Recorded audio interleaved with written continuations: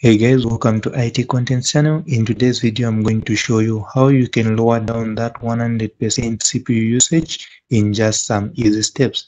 So the first thing that you want to do is right click on your start button. Then you want to go here where it says device manager. So once device manager is open, you want to scroll all the way down to where it says system devices so you want to expand that so here you're looking for high precision event timer. So you should see this high precision timer. You want to right click on it, then you want to click properties. So make sure here that is disabled. So I already disabled it. So that's why it's saying enable. So make sure that you disable this. So if you feel doubtful why we're disabling this, I've got a resource in the description that you can check out to see why we're disabling this feature specifically. So once you do that, you want to press OK, then that should close. Then again, we can right click here. We can go to where it says Task Manager. So once you're by Task Manager here, you want to make sure you go here where it says Startup. So here you want to also make sure that you only have relevant applications running in the background. So these applications start with your machine. So make sure that only the important ones are running because these will be using resources in the background whether you open them or not. So you want to make sure that this part is clean from any unnecessary applications. Then this is one of the other things that you might not have known. So open up chrome. So once chrome is open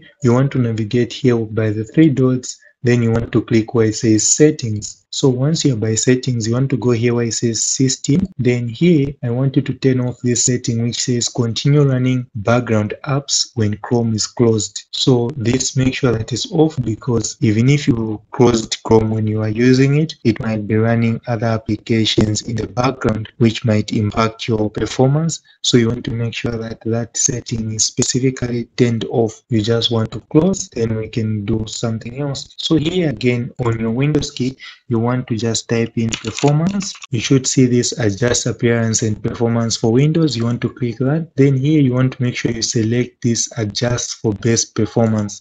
So make sure you tick this adjust for best performance. That will also make sure that it boosts up your pc performance. Then the last thing that you can do you just want to type in power again. You want to just search for power. So once you see this edit power plan you just want to click on it. So here you want to click where it says change advanced power settings.